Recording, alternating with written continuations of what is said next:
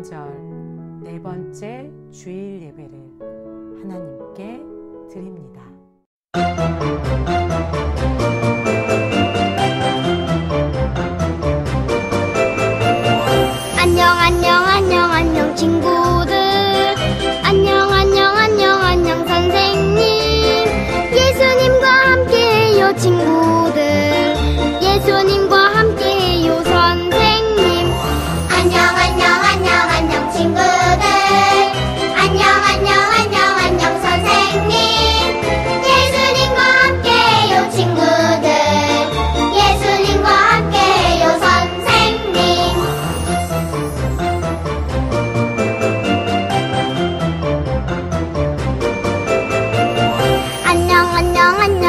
친구들.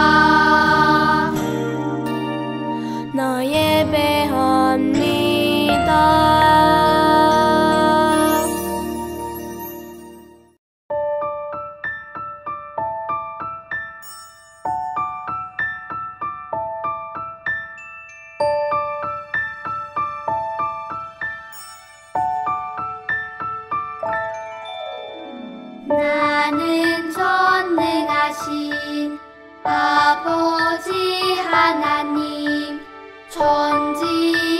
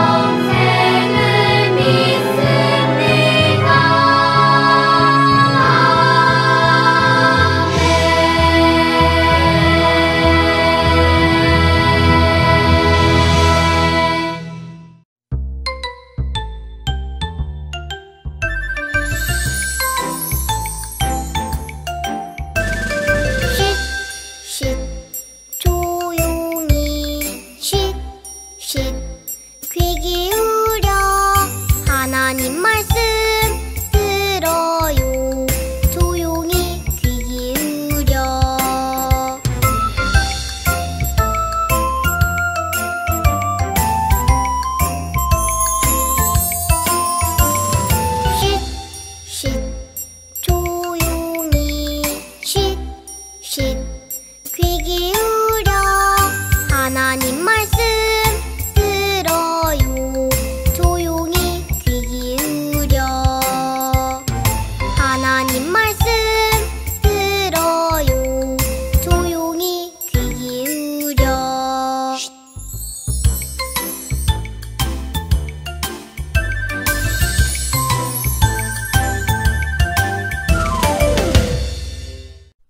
동방 박사들처럼 기뻐하는 제자.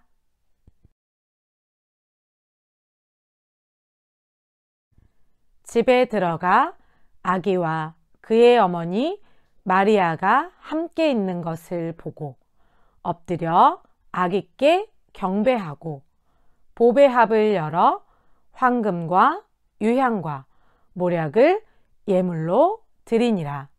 마태복음 2장 11절 말씀. 유치부 친구들 안녕하세요. 오늘 우리에게 들려주실 하나님의 말씀을 기대하면서 큰 목소리로 손유희 함께 외쳐보도록 해요. 살아계신 하나님의 말씀 성경 쉿, 모두가 잠든 고요한 밤이에요. 밤하늘에는 별들이 반짝반짝 빛나고 있었어요. 밤하늘의 별을 연구하는 동방 박사들은 밤하늘의 별을 쳐다보고 있었어요. 우와, 저기 좀 보세요. 아주 큰 별이 있어요. 동방 박사들은 깜짝 놀랐어요. 저렇게 큰 별은 처음 봐요. 군 별은 왕이 태어나신 걸 알려주는 건데. 우리 저 큰 별을 따라 왕을 만나러 가요. 좋아요. 우리 함께 왕께 경배하러 가요. 왕에게 드릴 귀한 선물도 준비해요. 동방박사들은 낙타를 타고 갔어요. 구불구불 길을 지났어요. 첨벙첨벙 물도 건넜어요. 울퉁불퉁 산도 넘어갔어요. 드디어 동방박사들은 왕의 궁전이 있는 예루살렘에 도착했어요. 유대인의 왕으로 태어나신 아기가 어디 있나요? 동방 박사들은 예루살렘 사람들에게 물었어요. 왕이 태어나셨다고요? 웅성웅성 사람들은 깜짝 놀랐어요. 저기 헤롯 왕의 궁전으로 가보세요. 새로운 왕이 태어났다는 소식을 들은 헤롯 왕은 화가 많이 났어요. 그래서 대제사장과 서기관에게 물었어요. 아니, 내가 왕인데 왕이 태어났다니 이게 무슨 말이냐? 왕이 어디서 태어나겠느냐? 대제사장과 서기관이 대답했어요. 오래전 하나님의 말씀에 베들레헴에서 태어날 거라고 하셨습니다. 헤로당은 동방 박사들에게 별이 언제 나타났는지를 자세히 물어보았어요. 그리고 동방 박사들에게 말했어요. 베들레헴으로 가서 아기를 만나게 되면 나에게도 알려라. 나도 가서 그에게 경배할 것이다. 네, 알겠습니다. 동방 박사들은 베들레헴을 향해 다시 길을 떠났어요. 그때 큰 별이 다시 나타났어요. 어? 저기 큰 별이 다시 나타났어요. 어서 저 큰 별을 따라가요. 동방 박사들은 기뻐하며 별을 따라갔어요. 동방 박사들은 낙타를 타고 갔어요. 구불구불 길을 지났어요. 첨벙첨벙 물을 건넜어요. 울퉁불퉁 산도 넘어갔어요. 동방 박사들은 드디어 베들레헴에 도착했어요. 어? 큰 별이 멈췄어요. 저기에 왕으로 태어나신 아기가 있나 봐요. 동방박사들은 기뻐했어요. 동방박사들은 마국간으로 들어갔어요. 정말로 그곳에는 아기가 있었어요. 저 아기가 왕으로 태어나신 아기인가 봐요. 드디어 우리가 왕으로 태어나신 아기를 만났어요. 동방 박사들은 기뻐했어요.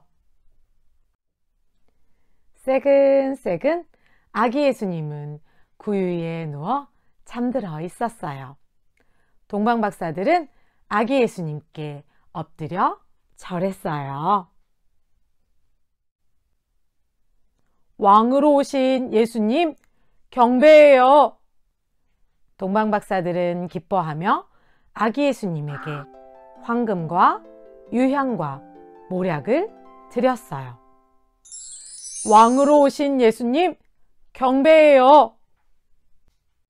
사랑하는 유치부 친구들, 오늘은 대림절 네 번째 주일이에요.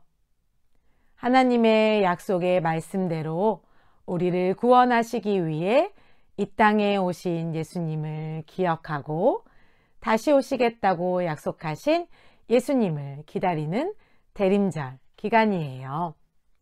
동방박사들은 태어나신 아기 예수님을 보며 함께 기뻐하고 축하했어요.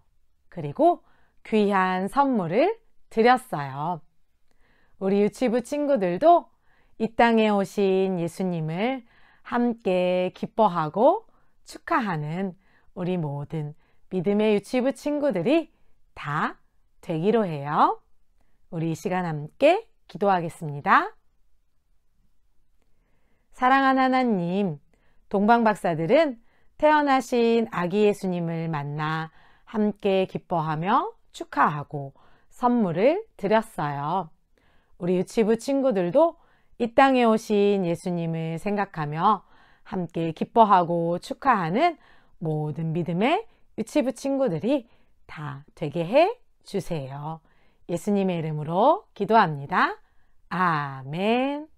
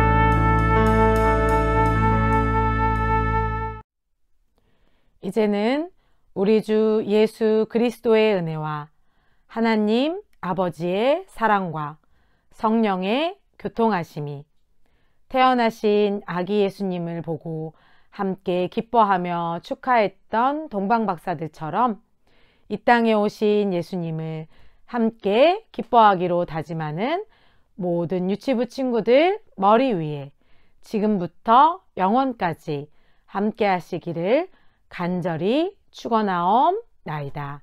아멘.